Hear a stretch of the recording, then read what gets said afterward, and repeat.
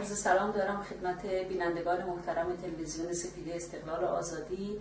این هفته در خدمت آقای بنی هستم تا با ایشون در زمینه هویت و معلفاش به گفتگو بنشینم. آقای بنی خدمت شما سلام عرض می‌کنم. سلام در مادران عزیز و همه فارسی زبان ها و به اونها وعده می‌دهم که بحث امروز ما بحث شیرینی خواهد در خاطر دارید همچنین بینندگان محترم که با شما در زمینه ایرانیت و ویژگی هاش و همچنین اندیشه راهنما به گفتگو نشستیم. این بار قصد دارم در زمینه هویت که مسلما بی ارتباط نیست با دو موضوعی که عرض کردم صحبت کنم. مایلم شما ابتدا تعریفی رو از دید خود از هویت به دست بیارید و اینکه انسان چگونه هویتش رو می‌سازه و هویت معرف چیه انسان هست و نقشش اصطلاح با محیط و تاریخ انسان چیست؟ ارز کنم به شما راجع به هویت ایدئولوژی ها و فلسفه ها فراوان حرف زدن. ما بهتر از واقعیت را بیافتیم. مثلا این بچه به دنیا میاد. در یک محیط خانوادگی به دنیا میاد بنابراین در یک فرهنگ به دنیا میاد خود او به تدریج که بزرگ می شود زندگیش دو بخش داره. یه بخشش اونی که عکس می‌کنه از محیط خانواده و بیرون خانواده. یه بخش دیگه هم اون است که خودش می‌سازه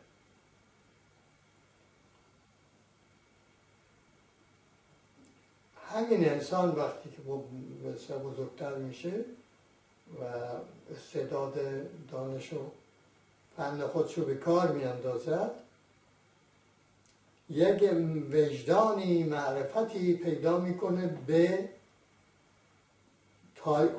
به خود به مسابه یک پدیده تاریخی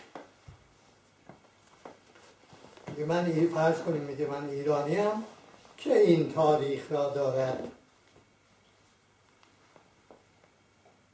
نه من ایرانی میگه که من ایرانیم که مثلا در چه زمانی ما دولت ما تشکیل شد بعد بله. هخامنشیان آمدند تا نه اون امر خودش رو به عنوان که نسل بعد از نسل در این سرزمین در این وطن زیسته است و و این زندگی در این وطن رو چگونه ادامه داشته داده است و با خطرها چگونه رویارویی کرده؟ ارز کنم به شما اسباب زندگی رو چگونه ساخته؟ این این وجدان. این وجدان به ویژگی های ایرانیت اگر فرض کنیم انسانی که ازش صحبت می‌کنیم ایرانی باشه. آلمانی باشه ویژگی های آلمانی بودن. انگلیسی فرانسوی باشه همینطور عرب باشه همینطور. این هم یه بخش دیگه از هویت اوست. خب اون به تدریج برای خوب و بد چی خوبه چی بده ارز کنم به شما دین پیدا می‌کنه. حالا فرض کنم اگر خانواده هم خانواده دینداری نباشه یه اندیشه راهنمای دیگری داره چون انسان بدون اندیشه راهنما وجود نداره. حالا یا اون اندیشه راهنما رو با اون بار میاد همون رو ادامه میده. پس بخشی از هویت رو هم به این ترتیب بحث می‌کنه. یا خود اون اندیشه راهنما رو نقد می‌کنه. پس مثلا می‌خوام اینجا برای روشن بشه. تا قبل از اینکه خودش شروع به نقد اون اندیشه راهنما بکنه نسبت به اون وجدان تاریخی که اسپردید خودش کمتر در اون نقش داره. نقش پیشینیانه یا که آره قبل ساختن. این قسمت ساخته است. و حالا دوباره اینا تفصیل میدم همکنون. اول می‌خوام که این شنونده ما به خودش بنگره ببینه که این عناصر هویتش چگونه شکل گرفتن چگونه هویت یافته. خب و بالاخره این آدم که با این نقد یا نقد می‌کنه یا میپذیره و با اون طرز فکری که پیدا می‌کنه کار می‌کنه و میآموزه و اون چی که می‌سازه. با اونها به خودش هویت میده. یه کار دیگه هم همین آدمی می‌کنه. این که مثلا فرض کنید توی خانواده بار آمده. پدر فرض کنید آهنگر خود در ایران ثبات وجود داشت دیگه استمرار وجود داشت. پسر هم می‌شد آهنگر. ثبات شغلی وجود داشت. خب حالا این فرض کنیم که این گذشته رو نسل میگن نسل بعد از نسل ما آهنگر بودیم. یا نسل بعد از نسل ما دهقان بودیم. بازرگان بودیم. همینطور که میشنویم و می‌دونیم و واقعیت هم داره خب حالا این می‌خواد این رو نقده بکنه. میگه خب این پدر من آهنگر بوده. منم از او آهنگری حالا ندم دو جور یکی می‌کنه که اصلا آهنگری رو راه می‌کنه. یه شغل دیگه کار دیگه. یه وقت هست نه اون آهنگری رو نقد می‌کند. که خب چه چیزایی قابل این هست که در آینده هم به کار میاد چه چیزایی نه به کار نمیاد. یه سنت است و یک نمی‌دونم روش است و که مثلا فرض کنی که چند روز باید زحمت بکشی آیا یه بیدی ازش در بیه یا نیاد طولانیه. مثلا و روند تولید طولانیه. ها این نقد می‌کنه.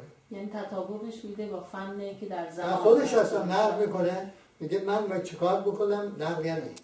ببینه این نقصاش کجاست. اون درستیاش کدام هست اون نقصه رو حالا می‌خواد با یک درستی های جدیدی چیزا جانشین اینا ابداع می‌کنه. مثلا اون کوره معمولی رو که بدم و یارو گفت بمیرو بدم. گفت بدم من گفت تو بدم بمیرو بدم. گفت بخوابم رو بدم من گفت تو بدم بمیرو بدم.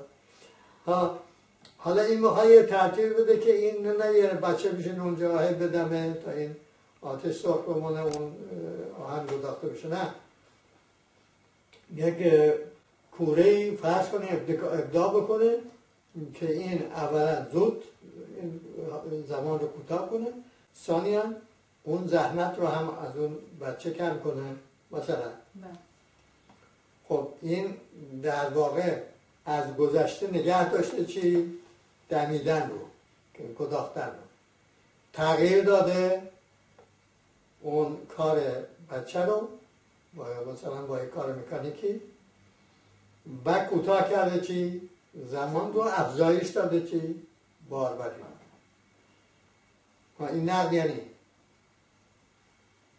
نه جویی. نه جویی. با اونا دیگه حالا با اینا بریز دور دنیا رفته پیش. حالا چیزای کارخانه ها بزرگ چه میگن آهنگدازی آمده و اینا حالا تو هنوز نشسته اونجا این میداره این فرهنگ سازی هم همینه. هویت سازی هم همینه. پس بخشی از هویت با ابداع و ابتکار خلق هست که ایجاد میشه. یعنی اون که الان برمیگردیم اون که هست نقد گذشته. بله. اون نقد دور نمیاندازه گذشته رو گذشته سرمایه است. قابل دور انداختن هم نیست. خب گوش بدید ایرانی ها یه عزیز. گذشته رو نمی‌شود دور انداخت. چون باش بار آمدی. هر انسانی. بخش بزرگش گذشته است. ولی می‌شود نقد کرد. و باید نقد کرد. حالا اگر شما نقد نکنید سهم شما از هویت که می‌سازید کمه. که اون گذشته است. هر کدوم از این چهار تا عامل آخر شما غیر از خانواده در جامعه واقعیت. یعنی بخشی از این هویت شما هم کار جامعه است. شرکت می‌کنه در هویت شما. حالا اگر شما ابداع ابتکار خودتون رو کم کنید دستوری زندگی کنید. تو خانواده مثلا بار آمدید زور شنیدید زور گفتید. عرض کنم به شما همینجور هم بار آمدید و همینجور هم زندگی کنید. این هویتی که شما دارید جز خیلی ناچیزش مال خود شماست. من بس اینه که مثلا زورگی های جدیدی اضافه کردی باشید یا نکرد اگر نکردید و همون رو ادامه دادید که میگن کی فلانی کیه؟ مثل قضیه اون آقازاده میمونه. هشتاد سالش بود. در مشهد روحانی برجسته هم بود. هنوز آقازاده بود. بعد یکی دیگه حال او رو پرسید. گفت که ایشون حالش چطور سلامتش گفت ایشون هشتاد سالش خب همچنان آقازاده است. یعنی هویتی مستقل از اون که پدرش بوده این برای خود نتونسته دست پا کنه. خیر. حالا برگردیم اینا رو تفصیل بدیم برای اینکه این مسئله هویت یه مسئله اساسی در هر جامعه. و ببینیم که چه ربطی داره با نظام اجتماعی سیاسی اون جامعه و اندیشه راهنما و خودانگیختگی انسان. خب تا اینجا دانستیم که هویت انسان دو بخش اساسی داره. یکی ساخته است داشته است اون چی که در گذشته ساخته شده تا این بچه که ولادت پیدا کرده حالا می‌خواد روش کنه. این یه بخش از هویت. اگر شما این بچه که ما ازش حرف می‌زنیم در جریان بزرگ شدن. وجدان پیدا نکنه به خود به مسابقه پدیده تاریخی. اون گذشته به کارش نمیاد. مثل میگن ایرانی ها به هم میگن میگن آقا من از بیخ بوتا آمدم ها از بیخ بوتا آمدن این شعور ایرانی است. بر این امر اساسی که بدون وجدان و شعور بر جریان تاریخی که من شدم نتیجه شده من بله. بدون این میشه آدم بی بوده در واقع شعر دیگران کاشتند و ما خوردیم ما بکاریم و دیگران بخورن این استمرار رو میرسونه. در هویت سازی هم همینجوره این استمرار میرسونه ولی این که من, این که من گفتم این شعر شما نیست. و اینکه اون دیگران کاشتن من خوردم. این یک آگاهی است. بر این که کاشتن و خوردن ادامه دارد. اما من حالا می‌خوام به خودم هویت خودم رو احراز کنم. من کیستم؟ اگر من ندارم که تاریخی در یک وطنی زیستم که یک تاریخی اجتماعی دارد. البته تاریخ سیاسی هم داره. اون هرچه اطلاع من بر این تاریخ بیشتر وجدان تاریخی من شفافتر هویت من یعنی اون چه از گذشته دارم این واضح در حالا اگر من این هویت تاریخی رو بیام بگم خب چگونه شد که در جریان تاریخ با این همه جنگ ها و قحطی و زلزله و این کشور ما که از هر سو حمله می شده سراسر تاریخش تاریخ جنگه. چگونه شده من عنوان ملت توانستم؟ من ایرانی در این میدان جنگ دائمی با این طبیعتی که خیلی هم آسان نیست به زیست تاریخی خود ادامه دادم. این سوال اگر من برد به سراغ ویژگی های ایرانیت شد و من وجدان یافتم بر این ویژگی ها و این ویژگی ها رو به کار بردم در این هویت که می‌خواهم بخشی از هویتم که خود می‌خواهم بسازم در این صورت این وجدان حالا اینکه من گفتم وجدان برای اینکه این اجماع برش هست. همه صاحب نظرانی که در باب هویت کار کردن اجماع دارن که تاریخ داشتن کافی نیست.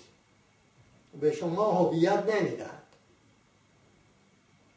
بشینی بگی که من آنم آقا ما یه ملت تاریخی هستیم. و نمی‌دونم این تاریخ چیست. خود رو به عنوان این انسان تاریخی ساخته تاریخ نمی‌شناسم. انسان ساخته تاریخ و انسان تاریخ ساز. چون انسان دو کار می‌کنه. هر نسلی دو کار انجام میده. یعنی یکی ساخته تاریخ شعور برای اینکه من ساخته تاریخی هستم. دو اینکه تاریخ که می‌سازد حالا به بعد. خب پس این تا اینجا بر ما روشن شد که چقدر اهمیت داره شعور و داشتن وجدان تاریخی روشن شفاف. البته آقا بخشی از این معرفت به این وجدان تاریخی کار خود انسانه در مسئولیت خود انسان هست که این اطلاع رو پیدا بکنه. بخشیش هم کار جامعه علمی فرهنگی و پدر و مادر و خانواده است بله. این انتقال این باید بده انتقال بده. حالا مثلا ما به عنوان چیزا که فرض کنیم ما الان در یک دسته دفعه انقلاب کردیم سر جای اولی هنوز استبداد خب چجوری شده؟ انقطاع بوده در این انتقال. به لحاظ که اون وجدان تاریخی ما شفافیت لازم رو پیدا نکرده. اون اولی که شد ما اون رو نقل نکردیم. تجربه اون رو تو ذهن حاضر نداشتیم. وقتی دومی خواستیم بکنیم. نتیجه اون همون نقصا که در اولی بود در دومی هم تشریف آورد. اون رو هم به شکست انجامید باز این وجدان تاریخی ما شفاف نشد. یعنی نرفتیم ببینیم که اون امر واقع چرا اینجور شد. جنبش ملی چرا شد؟ کودتای 28 مرداد چرا شد؟ چه عواملی در استخالت داشتن؟ چه اسبابی سبب شد که اون نظر به نتیجه نرسد؟ اینا تو ذهن ما حاضر نگه نداشتیم. باز دوباره انقلاب کردیم. باز همون این اهمیت وجدان تاریخی در ساختن هویت به این اندازه مهم است. شما در یک قرن سه تا انقلاب می‌کنید سر جای اول هستی. به لحاظ اینکه اون وجدان تاریخی شما شفاف نبوده نقد نشده آگاهی بر اون یا اصلا نبوده یا بسیار کم بوده. حالا تازه ما بین ملت های دنیا ملتی هستیم که وجدان تاریخی قوی داریم.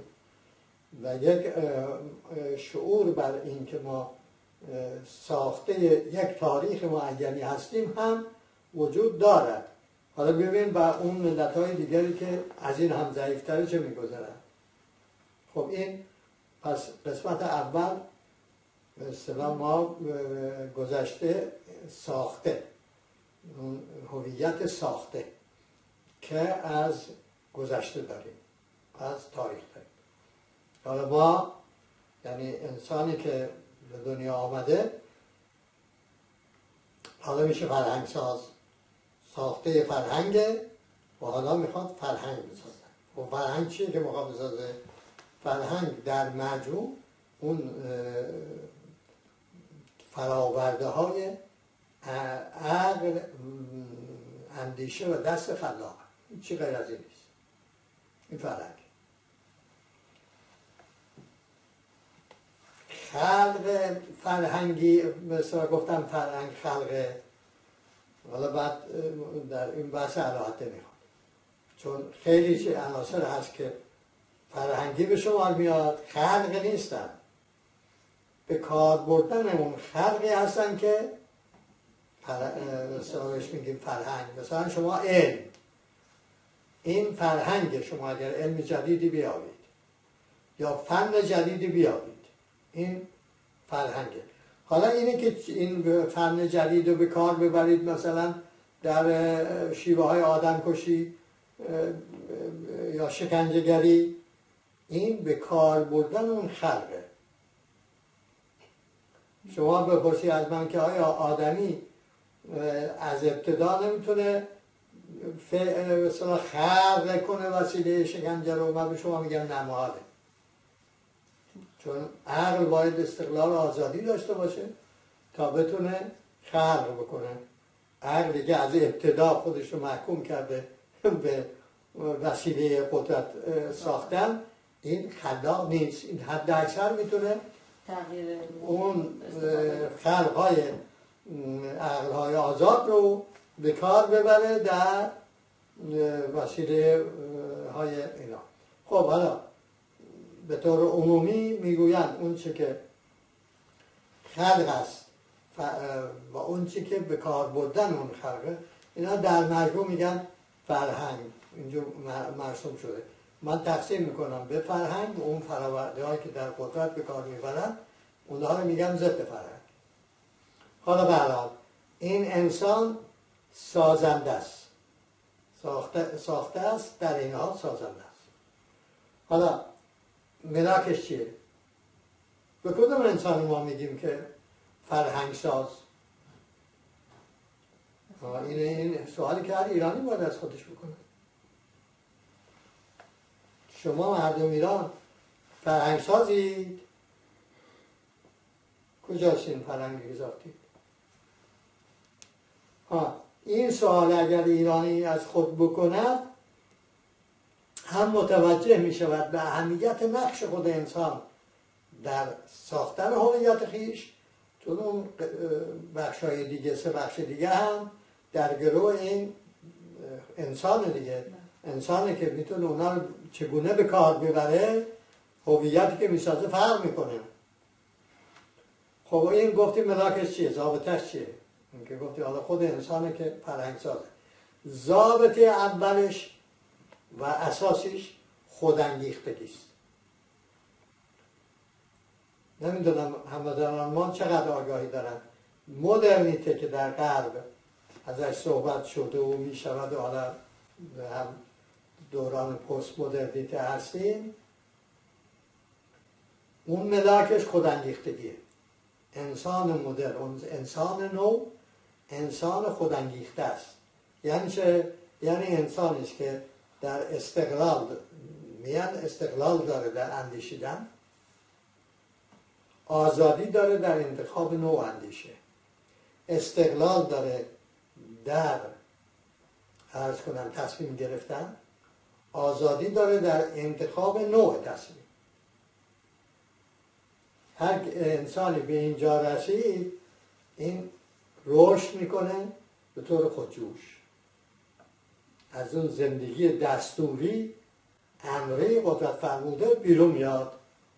تمامی امکانات و استعداداش هم ذاتی داره برای اینکه خود در بخش مهمش در خود داره و اگر اونها رو خوب به کار بگیره بخش دیگرش هم در محیط زیست در اختیارش می‌گذاره.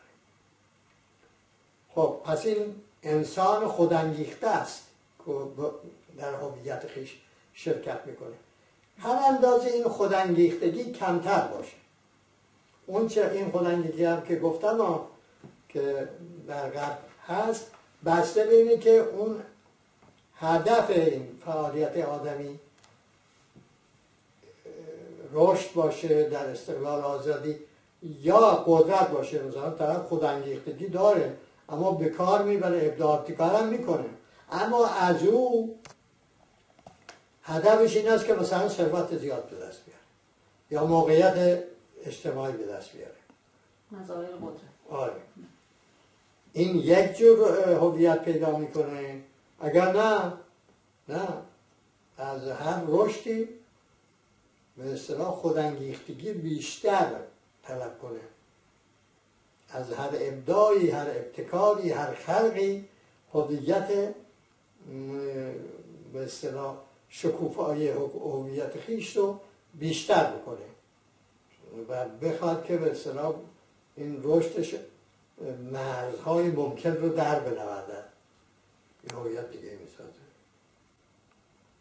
و برای دیگران هم یک این همه زمانی و همه مکانی میشه اینو دستاورده این هویت. طبیعتا برای که با قسمت سوم از هویتی که انسان می‌سازه با جامعه است و در جامعه است و می‌گیره و می‌دهد. بخش عمدی از اون که هویت آدمی است این از جامعه می‌گیره و به طریق و بنابراین اون چرا هم که خود ایجاد می‌کنه به جامعه میده. خب حالا اگر در یک جامعه هم میزان خودانگیختگی بالا باشه اون جامعه فرهنگ سازه اگر فرض کنیم این میزان خودانگیختگی پایین کم کم کم نزدیک به صفر. اون جامعه از لحاظ فرهنگی عقیمه. نازاست. ولی چون حالت خونسام نداریم پس جای این خودانگیختگی رو همون زندگی دستوری گرفته. خودی یعنی خودساز یعنی دیگه وقتی خودانگیختگی نیست چرا شد چه بر کرده؟ قدرت بر کرده زور بر کرده اینه که استبدادها در واقع مانع از اون هویت سازی انسان می شود تازه اون بخش اساسی هویت که رو به آینده داره که انسان خود می‌سازه اون به حد اقل می‌کنه. البته جامعه وسیله داره که این فرهنگ ساز بشود. ابداع به این خودانگیختگی شد در قلم روهای بسیاری به کار بندازه. این است که مردم ایران حواستون جمع باشه. خود رو از مسئولیت نگریزید. این زیبایی زندگی که حاصل تلاش شما ساختن هویت خودتون این رو مفت از دست ندید. به این معنا که چون ولایت متقی فقیه هست خود نمی‌گذاره ما هویت بسازیم زندگی ما شده دستوری. نخیر بخش بزرگی از زندگی هر انسانی ولو در زندان. در اختیار خود اوست. می‌تونه این استعداداشو به کار میاندازه خودانگیختگیشو به کار می‌گیره و هویت بسازه فرق و راه ساختن فرهنگ. خب حالا قسمت آخر بحث ما نقد گذشته است که گفتیم دو. زمان سه قسمت داره. گذشته حال آینده. یه وقت هستی که شما میگی من گذشته رو کشورهای زیر سلطه اینجوری میشن میگن این گذشته بد بود و بیچاره هر چی بودیم هر چی داریم آقا هر چی ما بدبختی داریم از این اسلام داریم. هر چه بدبختی داریم از این گذشته داریم. آقا ما نه اسلام خواستیم نه این گذشته. خب اون انداختی دور. خب حالا الان کی هستی؟ شما توجه بکنید که این آتاتورک در ترکیه هم کار کرده. خط عوض کرد. که این نسل جدید که میان گذشته رو اصلا نبینن نفهمن و با خط جدید یه تاریخی بخونن که اونا نکرده بودن اون تاریخ. چیزی که جوان ترک به دنیا میاد میشه بدون اون گذشته. وصل بشه به آینده که از دید او بی بدون واف کم کس کردن این قربه قرب بود. خب نتیجه چی داد؟ ورشکستگی. اگه ناممکن بوده؟ انسان نمی‌تونه فرهنگ بسازه. پس زمان اگر یک زمان مداومی در نظر بگیریم و در این زمان مداوم رو مرتب این کار انجام بدیم که یک اندیشه راهنما رو یا از گذشته گرفتیم یا خود به دست تحصیل در هر حال خلق هویت نیاز داره به نقد مداوم اندیشه راهنما برای اینکه او اندیشه راهنما کاملا بیان استقلال آزادی بشه و به کار انسان بیاد در این خودانگیختگی هویت سازی فرهنگ سازی یک. دو نقد گذشته و حال به طور مداوم به ترتیبی که سنت ها سنت ها دو بخش دیگه. یه سنت هایی داریم که عمل به حقوق باید حفظشون یه سنت هایی داریم زور فرموده مثلا که در خانواده زن مادونه. سنت آقا سنت اینجوری بوده که زن باید تحت امر شوهر باشه. تحت امر برادر باشه. تحت امر باشه. خب. یا سنت بر اینه که مثلا وقتی می نشینن سر سفره بهترین بخش غذا رو پدر خانواده بخوره. این همه سنته اما زور فرمودن. باید نقدش کرد. این سنت ها باید ازش رها شد. گفت اینها رو برداشت. جاش گذاشت چی؟ اون چه سازگار است با خودانگیختگی انسان با فرهنگ سازی انسان با رشد انسان. هویتی که از راه رشد در استقلال آزادی به دست می آورد در واقع اونهایی که الان ما شاهدی متاسفانه در ایران قیام رواج پیدا کرده چه در خارج کشور چه در داخل که یه عده یک انقطاع تاریخی به وجود میارن بخشی از مثلا با نظام فعلی درگیرن یا مخالفن این رو به حساب تاریخ اسلام می‌ذارن همه رو حذف می‌کنن برمیگردن فوقش به گذشته بسیار دور از بله. اقوام به قبل بله، این در. واقع مسئولیت گریزی نقده یعنی نقل رو بله،. مسئولیت نقل رو ازش بله این به اصطلاح چی میگن شبه مدرنی مدرنیته است که پهلوی ها اینها می‌خواستن در ایران به عمل در بیارن شکست خورد. برای اینکه شما نمی‌تونید که چهارده قرن از زندگی ملت حذف بکنید. ناشدنی است. خب ناشدنی است از یه دهت دیگری اگر شدنی باشه شما رو می‌کنه بلا نسبت به میمون. چون دیگه شما وقتی که اون نیستی دیگه هیچ چیزی برای ابداع ابتکار نداری. اصلا به جای متکی نیستی. باید تقلید بکنید. از کی؟ از اونی که این اون کسانی که این کار می‌کنن شما رو می‌خوان بکنن مقلد او. که باید شکل شمایل او رو پیدا کنید. به قول, مخور سلطنه هدایت تمدن بلواری پیدا کنید پس این بحران هویت آقای بنی صدر چه زمان رخ میده؟ زمانی که این ارتباط با تاریخ قطع میشه به اون خب با- یا, یا, سازندگی رو نقل آره، زمان ما ظاهرا سر آمده. و سوال شما هم بسیار مهمه. من در یکی دو جمله میگم انشاءالله در یه بحث دیگری باید بحران هویت آش- که در قلب الان وجود داره بیشتر وقتی پدید میاد که انسان توانایی اون بخش اساسی هویت خودش باید بسازه اون خودانگیختگی رو از دست میده کم میشه.